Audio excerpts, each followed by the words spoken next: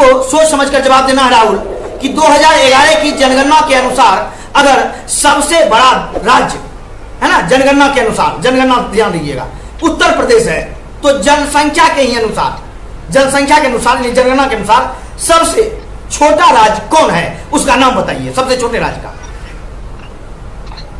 जनसंख्या के अनुसार? हाँ जनसंख्या के अनुसार बताइए। सिक्किम। सिक्किम इसे लॉक किया जाए? जी सर। तो बिल्कुल सही जवाब है आपका। सिक्किम बहुत अच्छा शानदार। अब हम चलते हैं मोहम्मद इरशाद के पास। आप तैयार हो जाइए मोहम्मद इरशाद। जी सर।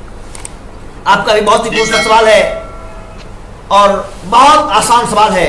इसका जवाब देंगे तो दस अंक मिल जाएगा। तो आपका सवाल शुरू होता है इरशाद आपको बताना है इरशाद राष्ट्र संघ की स्थापना किस वर्ष हुआ था? राष्ट्र संघ की स्थापना किस वर्ष हुआ था? समय शुरू है।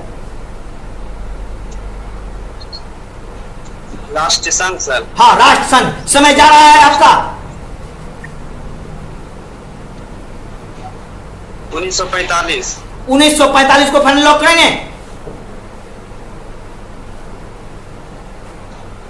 संयुक्त राष्ट्र संघ सर सर हमने कहा राष्ट्र संघ की स्थापना कब हुआ? समय जा रहा है फाइनल जवाब दीजिए। 1920 सर 1920 को लॉक करेंगे फाइनली जी सर और आपका समय खत्म होता है और आपने 1920 को लॉक कर दिया।